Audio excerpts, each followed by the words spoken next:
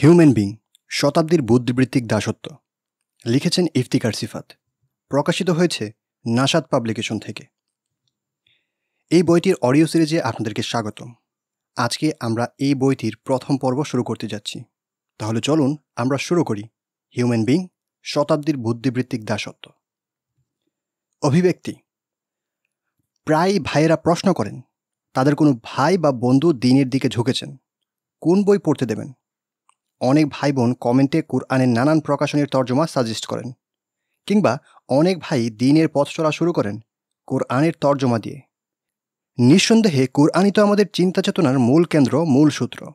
কিন্তু দিনের জ্ঞান অর্জন কুরআন দিয়ে শুরু করার ব্যাপারে আমার কিছু অভিজ্ঞতা আছে। আমার একজন পরিচিত ব্যক্তি হজ করে এসে দিনই জ্ঞান অর্জন করতে শুরু করলেন।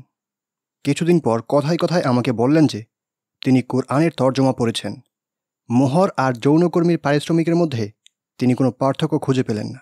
নাহজুবিল্লা আরেকজন কাছের মানুষ কোরআনের তর্জমা দিয়ে যার দিনই পড়াশোনা শুরু, তার অনুভূতি হলো, বর্তমান ইসলাম হলো উগ্রবাদ, মোল্লাদের তৈরি। কোরআনের ইসলাম এত কঠিন না। এরকম বহু নজির আপনার আশেপাশেই পাবেন। সব ভ্রান্ত ফিরকা নিজেদের মতো করে কোরআন থেকেই দলিল দেয়। আবার শুধু কোরআনের উপর ভিত্তি করে ভ্রান্ত দলের অস্তিত্বও আমাদের অজানা নয়। আচ্ছা কেন এমন হয়? সাহাবাই কেরামের প্রথম শিক্ষা তো কোরআনই ছিল। তারা তো বিভ্রান্ত হননি? দুটো কারণ আছে এমন হবার। এক, কোরআন বুঝিয়ে দেবার কাউকে থাকতে হবে। সাহাবিদের কোরআন বুঝিয়ে দিতেন খোদ নবীজি সাল্লাহ আলহিহসাল্লাম এভাবে প্রতি প্রজন্মে এই ভুজ ট্রান্সফার হয়েছে। এই ধারাবাহিক কমন বুঝটার বাইরে নিজের মতো করে বুঝতে গিয়ে সমস্যাগুলো হয়েছে। একজনকে তো অবশ্যই থাকতে হবে। যিনি আমাকে এই আদি ব্যাখ্যা তথা নাবিজি ও সাহাবিদের বুঝটুকু বুঝিয়ে দেবেন। এটা সত্যি যে, ব্যস্ততার দরুন এমন কারও কাছে বসে কোরআন পড়ে নেয়া আমাদের পক্ষে সম্ভব নয়। এর একটা সমাধান হতে পারে কোনো সহজ তাফসির তথা ব্যাখ্যাসহ তর্জমা নেয়া এবং পড়ার সময় কোনো জায়গায় না বুঝলে টুকে রাখা।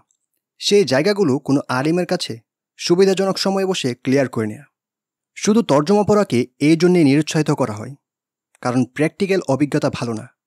আর দিনের পহেলা পাঠ হিসেবে তো আমি সরাসরি নিষেধই করব। কেন? এটাই আমাদের দ্বিতীয় কারণ। আমরা জেনারেল কারিকুলামে পড়াশোনা করেছি, যা ব্রিটিশ প্রণীত শিক্ষা ব্যবস্থা, শিক্ষা কাঠামো। এই উপমহাদেশের ট্র্যাডিশনাল শিক্ষাধারাকে পরিবর্তন করে নতুন শিক্ষা প্রবর্তন করার সময় তাদের লক্ষ্য ছিল তৈরি করা এমন একটা শ্রেণি, যারা রক্তে, গায়ের রঙে তো ভারতীয়। কিন্তু রুচি, মতামত, নীতি বিচার ভূতিতে হবে ইংরেজ। ঠিক এই শ্রেণীটাই ইংরেজ খেদানোর পর ক্ষমতায় আসে। পলিসি করেছে, সব চালিয়েছে, বই লিখেছে। শুধু এরাই শিক্ষিত শ্রেণি, বাকিরা যেন গণ্ড মূর্খ। ফলে ইংরেজ চলে গেলেও ইংরেজের রুচি, মত, নীতি বিচার বুদ্ধিতে আমরা উঠছি বসছি, চলছি ফিরছি শিখছি। জেনারেশনের পর জেনারেশন আমরা বেড়ে উঠেছি রঙে ভারতীয়, ঢঙে ইংরেজ হয়ে। আর ইংরেজদের এবং ইউরোপীয়দের চিন্তা চেতনার উৎস হল গ্রিকদের বিশ্বদর্শন আর রোমানদের সমাজ রাষ্ট্রবোধ। চোদ্দশো শতকে রেনেসার সময় থেকে শুরু হয় খ্রিস্ট ধর্মের খোলস থেকে বেরিয়ে আসা এই প্রক্রিয়া। শেষ হয় আঠারোশো শতকে এনলাইটেনমেন্টে এসে। স্বাধীনতা, সমতা, নৈতিকতা, নিরপেক্ষতা, প্রকৃতিবাদ এসব চিন্তা দর্শন দুনিয়া জুড়ে ছড়িয়ে দিয়েছে তারা উপনিবেশের মৌকায়। এগুলো শিখিয়ে তৈরি করেছে সেই শ্রেণি। যারা চিন্তা মননে ইউরোপীয়, সেই শ্রেণীটাই আমাদের বাবাদের চিন্তা গড়ে তুলেছে তারা আমাদের। প্রজন্মান্তরে আমরা সেই চিন্তাধারাই বহন করি ইচ্ছায় বা অনিচ্ছায়। নোট এক, আঠারোশো সালে ভারতে শিক্ষা প্রসারের জন্য কমিটি করা হয়। এর প্রধান ছিলেন লর্ড ম্যাকেলে। স্কিমের report, minute on Indian education, second February nineteen thirty five, Thomas Babington Macaulay, point twelve. নোটের পর থেকে। এই চশমা পরে যখন কেউ কুরআন পড়ে, তখন একের পর এক প্রশ্ন জাগতে থাকে মনে। কেন মেয়েরা আর্ধেক সম্পত্তি পেল? কেন মেয়েদের সাক্ষ্যের দাম ছেলেদের অর্ধেক? কেন আল্লাহ যুদ্ধ করতে বললেন? কেন চার বিয়ের অনুমতি? কেন দাস দাসীর বিধান? কেন এই, কেন সেই? স্বাভাবিক। কেননা এই ইউরোপীয় মানদণ্ড প্রতি গিটে গিটে ইসলামের সাথে সাংঘর্ষিক। এই ইউরোপীয় মূল্যবোধ বা ধারণাগুলোকে ওরা আমাদের চূড়ান্ত, ধ্রুব ও সর্বস্ব সত্য নিপাতে সিদ্ধ ভাবতে শিখিয়েছে। সূত্র philosophical perspectives in education Oregon State University website ফলে আল্লাহর দেয়া বিধান, আল্লাহর স্ট্যান্ডার্ডকে আমাদের কাছে বর্বর মনে হয়, মধ্যযুগীয় মনে হয়, সেকেলে মনে হয়। দুটো মাপকাঠির পার্থক্যটা দেখুন। একটা হলো গ্রিক রোমান প্যাগানদের চিন্তা ধর্ষণ নতুন বোতলে পুরনো মদ। আর একটা হলো স্বয়ং স্রষ্টা, স্বয়ং অধিপতি, পালনকর্তার প্রদত্ত, যিনি মানবমন মানব সমাজ এবং মানবদেহের গতি প্রকৃতি সৃষ্টি করেছেন। অথচ আজ আমরা মানব দর্শনের স্কেলে প্রশ্ন করছি আল্লাহর সিদ্ধান্তকে। আজ ইসলাম নিয়ে নাস্তিকদের যত প্রশ্ন, মডার্নিস্ট, রিভিশনিস্ট, মোডারেট মুসলিমদের যত হীনমন্যতা সব কিছুরই উৎস এই পাশ্চাত্য মাপকাঠি, পাশ্চাত্য ধারণাগুলোকে চূড়ান্ত ঠাউরানোর প্রবণতা থেকে। এটাই সব প্রশ্নের সব আপত্তির উৎস। কোরআন থেকে হৃদায়ত পেতে হলে সবার আগে এই ব্রিটিশ ওয়াশ মগজখানি কাউন্টার ওয়াশ দিয়ে নিউট্রালে আনতে হবে। পশ্চিমা ভৌতবিজ্ঞান যেমন প্রমাণ নির্ভর, তাদের সামাজিক বিজ্ঞান তেমন প্রমাণিত কোনো জিনিস নয়, বরং তা মতাদর্শ নির্ভর। নিউটনের বলবিদ্যার সূত্র যেমন পশ্চিমা অর্থনীতি, রাষ্ট্রবিজ্ঞান, সমাজবিজ্ঞানের ধারণাগুলো তেমন প্রশ্নাতীত বিষয় না। তাদের পুরো সামাজিক বিজ্ঞান দাঁড়িয়ে আছে একটা সংজ্ঞার উপর। ব্যক্তি হিউম্যান হিউম্যান পার্সন ইন্ডিভিজুয়াল এগুলোর দার্শনিক যে সংজ্ঞা, তার উপরেই পরিবারের সংজ্ঞা, সমাজের সংজ্ঞা, রাষ্ট্রের সংজ্ঞা, অর্থনীতির সংজ্ঞা, আইনের সংজ্ঞা। অধিকার, স্বাধীনতা, সমতা, নৈতিকতা সব কিছুর ধারণা। পুরো পশ্চিমা সভ্যতা এর উপরে দাঁড়িয়ে আছে। তাই পশ্চিমা চিন্তা মনন বুঝতে হলে এই হিউম্যানের সংজ্ঞাটা বুঝতে হবে। হিউম্যানিটি আর হিউম্যানিজমের পার্থক্য জানতে হবে। এই ধারণাটা বুঝে নিলেই ইসলাম নিয়ে এত এত প্রশ্ন কোথা থেকে আসে চট করে ধরে ফেলা যাবে। আমাদের শিক্ষা ব্যবস্থার মাধ্যমে যে সেকুলার লিবারেল মূল্যবোধকে প্রশ্নাতীত হিসেবে, ধর্মীয় অনুশাসনের মতো প্রশ্ন ওঠানোর ট্যাবও হিসেবে মন মগজে গেঁথে দেওয়া হয়েছে, বিভিন্নভাবে মেনে নিতে বাধ্য করা হচ্ছে, তা ধরা দেবে উপলব্ধিতে। একজন ব্রিটিশ ওয়াশ মুসলিমকে প্রথম কোন বই দেওয়া যায়, সেই ভাবনা আর নেই। উস্তাদ ইফতিকার সিফাত হাফিজাউল্লাহকে দিয়ে আল্লাহ সেই কাজটুকু নিয়েছেন। নিঃসন্দেহে একজন জেনারেল শিক্ষিত মুসলিমের পড়া প্রথম বই হওয়া উচিত এই হিউম্যান বিং বইটি, যাতে তিনি নিজেকে চিনতে পারেন। আমি পশ্চিমা হিউম্যান নাকি আল্লাহর আব্দ? কোন পরিচয়ে আমি কবরে যেতে চাই? এটা তো সেই আত্মজ্ঞান যা একজন মুসলিমের প্রয়োজন হয় তার বালেগ হওয়ার সাথে সাথে। আর একজন ন মুসলিমের প্রয়োজন হয় কালিমা পড়ার পরপরই।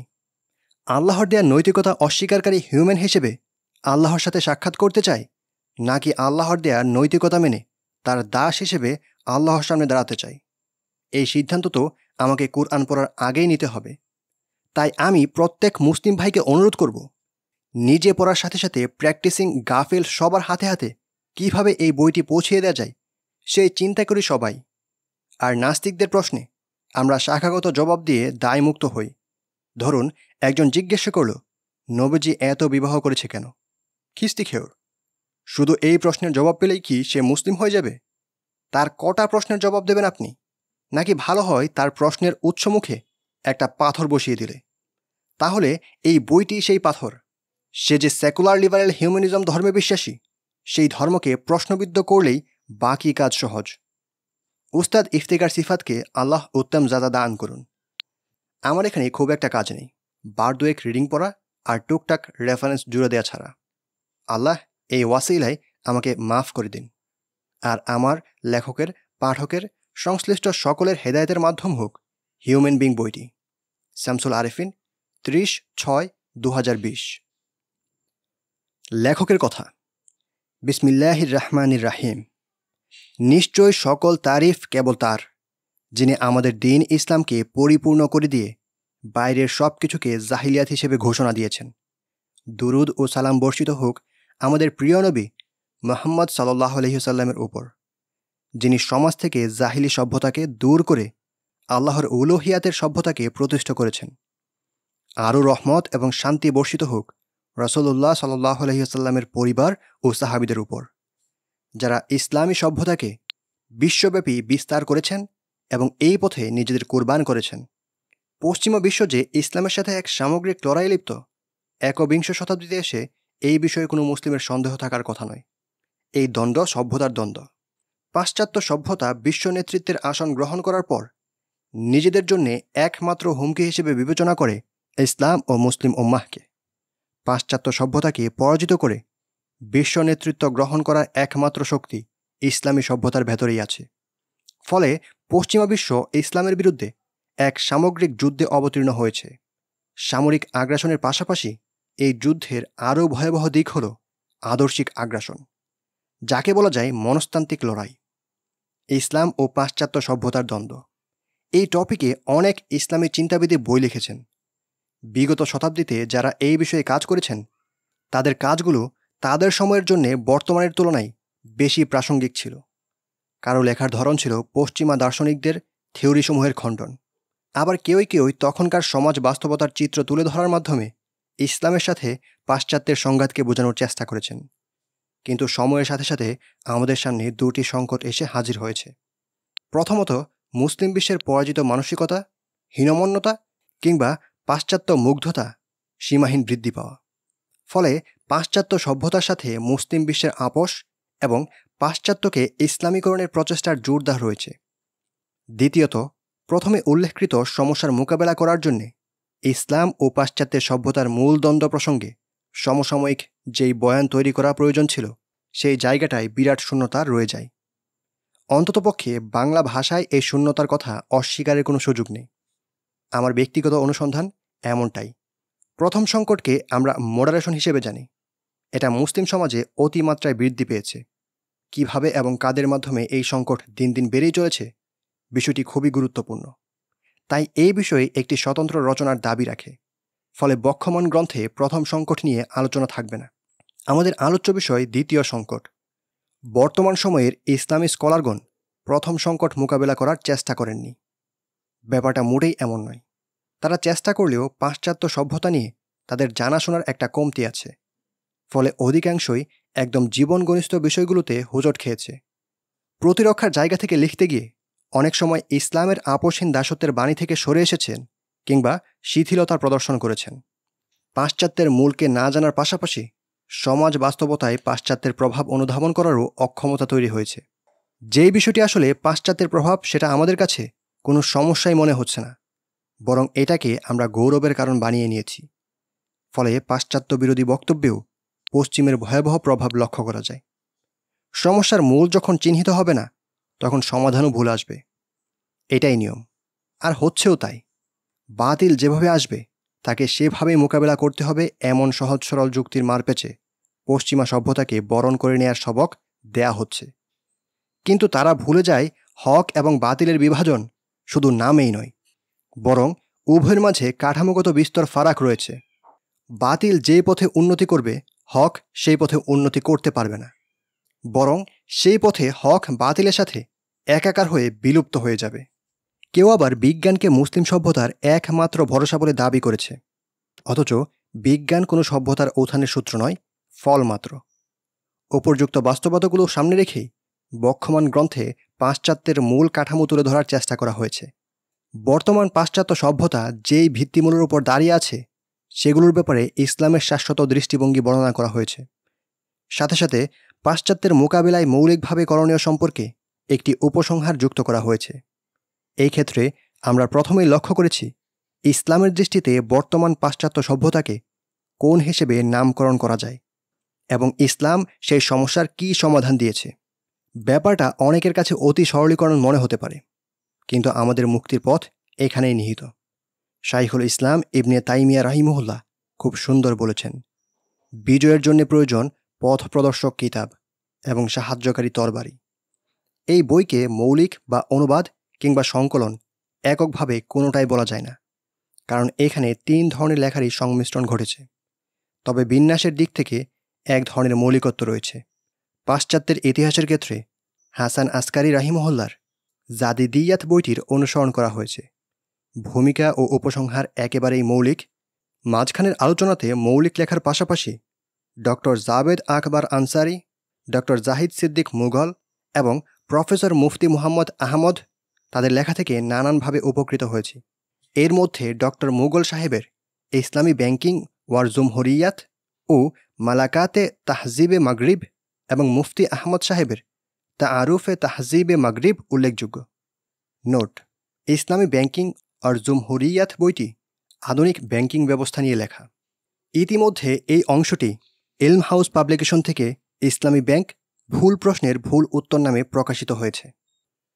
মুসলিম সমাজে পাশ্চাত্য সভ্যতার প্রভাব অনেক বিস্তৃত। এমনকি আমাদের দৈনন্দিন জীবনের নানান আচরণ, কথাবার্তা ও কর্মকৌশলের সাথে পাশ্চাত্য চিন্তা চেতনার সংশ্লিষ্টতার ব্যাখ্যা পাওয়া যায়। বলা যায়, খুবই ব্যাপক একটি বিষয়। তাই বিন্যাসের ক্ষেত্রে লেখা সংক্ষিপ্ত হলেও বিষয়বস্তুর ব্যাপ্তিকে ধরে রাখার চেষ্টা করা হয়েছে।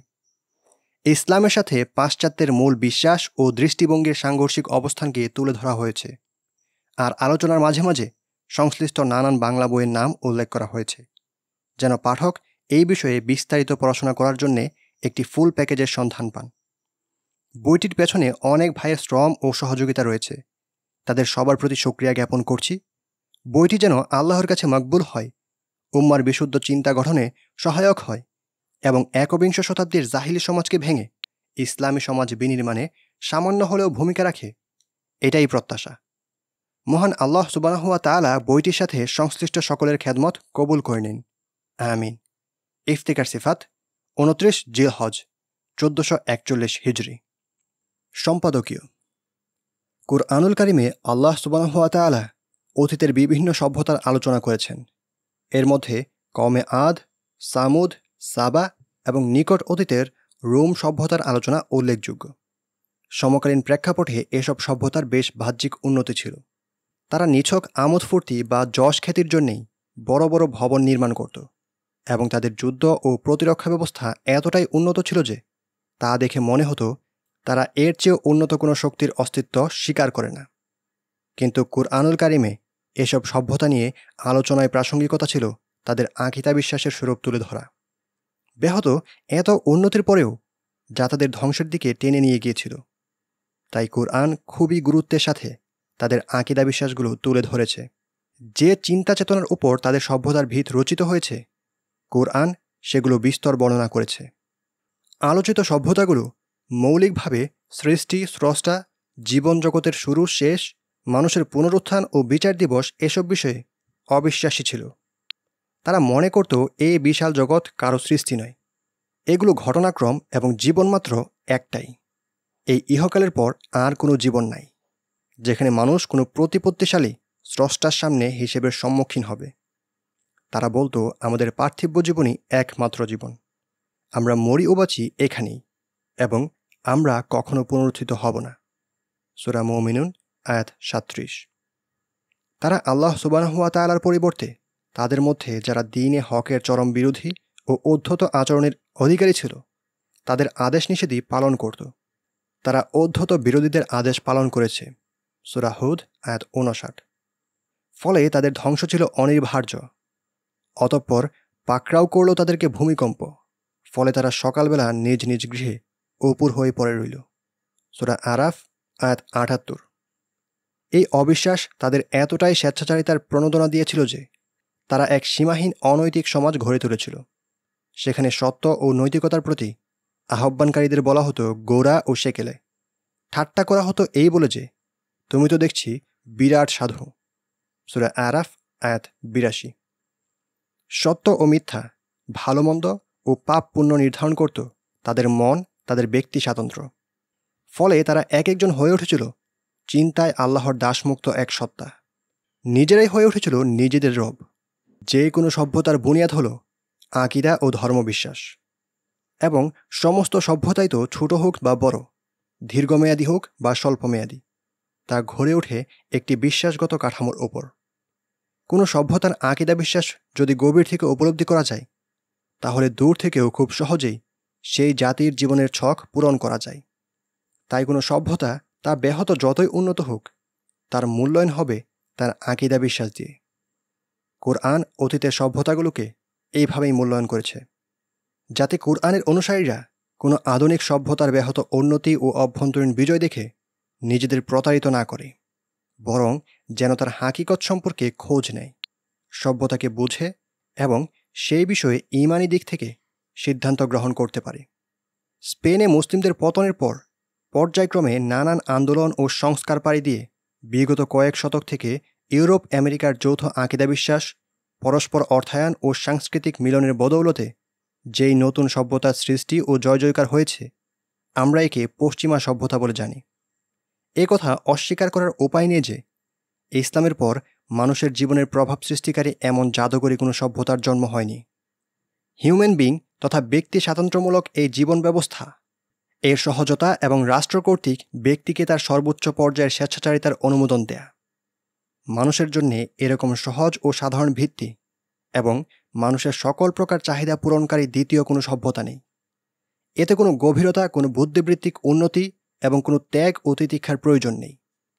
তাই সাধারণ মানুষের নিকট এটি খুবই আকর্ষণীয় এবং মানব সভ্যতার ইতিহাসে এর চেয়েও অধিক পুনঃপৌণিক জয়লাভকারী কোনো সভ্যতা বা জীবন ব্যবস্থা দেখা যায়নি। এই সভ্যতা তার উত্থান ও বিজয়কালে গভীর থেকে মুসলিমদের প্রভাবিত করে। তাদের সমস্ত চেতনা, দিনী আদর্শ ও রাজনৈতিক কর্তৃত্বকে পরাজিত করবার চেষ্টা চালায়। অনেক ক্ষেত্রে তা সফল হয়। বিশেষত আজ পশ্চিমা সভ্যতা মুসলিম মানুষের সত্য, মিথ্যা ও নৈতিকতার এমন মানদণ্ডে রূপান্তরিত হয়েছে যে, এর বিকল্প ভাবাকে মনে করা হয় অপরাধ। এর ফল এই দাঁড়ায় যে, পশ্চিমা সভ্যতার বাহ্যিক আয়োজনের সাথে সাথে তাদের আঁকিদা বিশ্বাসগুলো আজ মুসলিম মানুষ দখল করে নিয়েছে। প্রায় প্রতিটি কাঁচা পাকা ঘরই এই সভ্যতার প্রতীক বা সিম্বলে পরিণত হয়েছে। পশ্চিমা সভ্যতার দর্শন ও আদর্শগত প্রভাবে দীর্ঘদিন থেকেই ইসলামী পৃথিবীর সামনে নতুন এক ইতিদাদের শৈলাভ ঘটেছে, যা ব্যাপকতা ও গভীরতার দিক থেকে এই যাবৎকালের সমস্ত ইর্তিদাদি ফেতনাকে ছাড়িয়ে গেছে। সবচেয়ে গুরুত্বপূর্ণ বিষয় হল, এই সভ্যতা আলাদা ধর্মের দাবি না করেও গোপনে একটি নতুন ধর্মের স্থান দখল করে নিয়েছে, যাকে নির্ভুল, অকাট্য, অলঙ্ঘনীয় ভাবা হয়। এই সভ্যতার কোনো একক মূর্তি নেই, তবে এর অনেকগুলো মোহনীয় পরিভাষা আছে আছে ইতিহাসও। আবার এই সভ্যতা থেকেই তৈরি হয়েছে অনেক ইর্তিদাদি মতবাদ। তাই এ সভ্যতাকে জানা এবং এর পরিধি হাতে কলমে বোঝা প্রতিটি মুসলিমের জন্য ছিল একান্ত কর্তব্য। কিন্তু আমাদের দুর্ভাগ্য যে এই বিষয়ে সচেতন মুসলিম সমাজেরও খুব একটা দৃষ্টি পড়েনি। মোহতারাম ইফতিকার সিফাত এই বিষয়ে পশ্চিমা সভ্যতার ভেতরবাহিন নিয়ে আলোচনা করেছেন। তাদের আকিদা, বিশ্বাস, দর্শন, পরিভাষাগত জটিলতা এবং ইতিহাস ও তার উৎসগুলো বেশ চমৎকারভাবে তুলে ধরেছেন। পশ্চিমা সভ্যতার বুনিয়াদী বিশ্বাস কেন ইসলামের সাথে সাংঘর্ষিক? সেই বিষয়ে দলিল পেশ করেছেন দিনে ইলমের উৎস ও বাস্তবতার নিরিখে। একই সাথে তিনি পশ্চিমা সভ্যতার ভিত, হিউম্যান বিং ও তার ইতিহাস থেকে জন্ম নেওয়া স্বাধীনতা, সমতা ও উন্নতির স্বরূপ ও এই বিষয়ে ইসলামের দৃষ্টিভঙ্গি তুলে ধরেছেন। দেখিয়েছেন এই সভ্যতার মানবিক হয়ে ওঠার পেছনে অসারতাগুলো। তিনি খুবই সূক্ষ্মভাবে পশ্চিমা সভ্যতার বেঁধে দেয়া মানদণ্ডকে স্ট্যান্ডার্ড ধরে সব কিছুকে মূল্যায়ন করার, বিশেষত ইসলামের আহকাম ও বিধানকে মূল্যায়ন করার যে প্রবণতা, তাকে চিহ্নিত করেছেন। খুব গভীর থেকে দেখিয়েছেন কীভাবে একটি মুসলিম মানুষ পশ্চিমা সভ্যতা দ্বারা প্রভাবিত হয় এবং আখেরে নিজের ইমান আমল হারিয়ে বসে। পাশাপাশি হাজারো বাহ্যিক উন্নতির পরেও বিশ্বাস ও বিকৃতির ফলে একটি সভ্যতা কীভাবে মানুষকে ধ্বংসের দিকে নিয়ে যায়, সেই দিক নিয়েও পেশ করেছেন গুরুত্বপূর্ণ দিক নির্দেশনা। পশ্চিমা সভ্যতাকে বোঝার জন্যে নানান দিক থেকে কাজ হলেও পুরো বিষয়টাকে একসাথে এত সুন্দর উপস্থাপনাকে বিরলই বলতে হবে। আশা করছি বাংলা ভাষী পাঠকের জন্য বইটি খুবই উপকারী হবে। বিশেষত যারা বুদ্ধিবৃত্তিক দাওয়াতের ময়দানে কাজ করেন এবং সমাজের নানা আঙ্গিক, সময়ের স্রোত ও আধুনিক চিন্তার নামে বহমান ইর্তিদাদের ফেতনা সম্পর্কে জানতে আগ্রহী তাদের জন্যে। আল্লাহ আমাদের এই ইর্তিদাদি সভ্যতা থেকে বাঁচার তৌফিক দিন। লেখক ও তার সাথে সংশ্লিষ্ট সবাইকে কবুল করুন। এই বইকে মানুষের হৃদায়তের উসিলা বানান। আমিন। মোহাম্মদ আফসার। আলহামদুলিল্লাহ, এরই মাধ্যমে আমরা এই বইয়ের প্রথম পর্বটি শেষ করতে যাচ্ছি। ইনশা আল্লাহ আগামী পর্বে আমরা ভূমিকা নিয়ে আলোচনা করব। ধন্যবাদ, জাজাকাল্লাহ খাইরান। আসসালামু আলাইকুম রহমতুল্লাহি বারাকাত আপনারা যদি এই চ্যানেলটি সাবস্ক্রাইব করে না থাকুন, তাহলে এক্ষুনি চ্যানেলটি সাবস্ক্রাইব করুন এবং বেল বাটন চেপে রাখুন।